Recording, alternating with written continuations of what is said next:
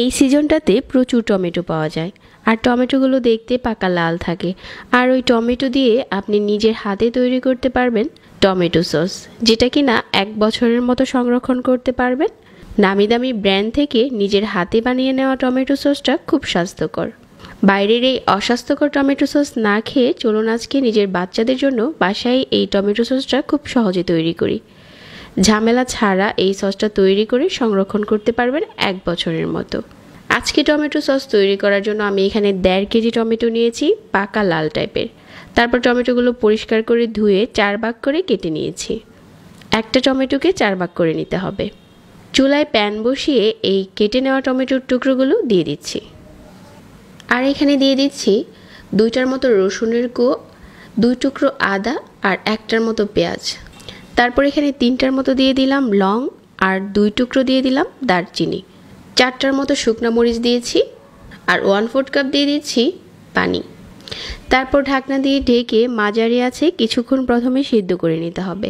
আর কিছুক্ষণ পরেই দেখা যাবে যে অনেকটা পানি উঠেছে। আমি এই টমেটোগুলোকে আরও পাঁচ মিনিটের মতো সিদ্ধ করে নিচ্ছি আর আবারও ঢাকনা দিয়ে ঢেকে দিচ্ছি। এখন টমেটোগুলো পুরোপুরি নরম হয়ে গেছে আর কিছুটা গলেও গেছে। এ পর্যায়ে হচ্ছে চুলাটাকে বন্ধ করে দিতে হবে। এখন যদি হাতের কাছে ব্লেন্ডার থাকে, পুরোপুরি ঠান্ডা করে নিয়ে ব্লেন্ড করে নেবেন। যদি কারও হাতের কাছে ব্লেন্ডার না থাকে, ওই ক্ষেত্রে আপনারা ডালগুটনি দিয়ে ম্যাশ করে তারপর হচ্ছে চালনি দিয়ে চেলে নিতে পারেন। তো ব্লেন্ডার দিয়ে ব্লেন্ড করে নেওয়ার পর একটা স্ট্রেনারে নিয়ে ছেঁকে নিতে হবে। তাহলে টমেটোর পিউরিটা খুব স্মুথ হবে। ফ্রেশ একটা পিউরি পেয়ে গেছি। এখন সস তৈরি করার পালা। আর এই পিউরিটা খুব ঘন হয়েছে। একটা বাটিতে নিয়ে নিয়েছি দুই চা চামচ কর্নফ্লাওয়ার। আর দুই টেবিল চামচ ভিনিগার দিয়ে এই কর্নফ্লাওয়ারটা গুলিয়ে নিচ্ছি। এখানে এক্সট্রা কোনো পানি দেওয়ার দরকার নেই। ভিনিগার দিয়েই কর্নফ্লাওয়ারটা গুলিয়ে নিতে পারেন।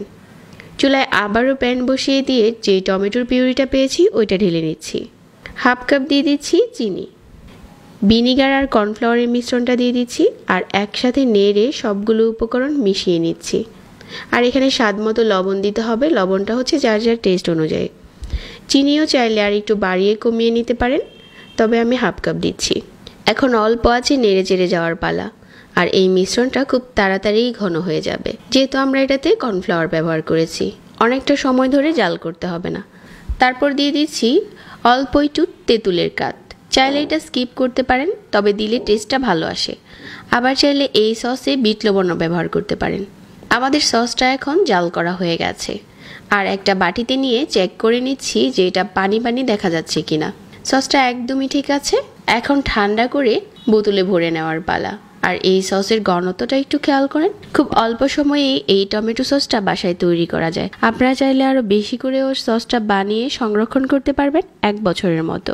এখন শুধু একটা পরিষ্কার যে কোনো কাচের কৌটোতে ভরে সংরক্ষণ করার পালা। আমার সসটা এখন রেডি আশা করছি আজকের টমেটো সসের রেসিপিটা ভালো লেগেছে সবার কাছে। নিজের হাতে স্বাস্থ্যকর উপায়ে বানিয়ে সংরক্ষণ করুন এক বছর। সবাই অনেক ভালো থাকবেন। আজকে এখানেই বিদায় নিচ্ছি। আল্লাহ হাফেজ।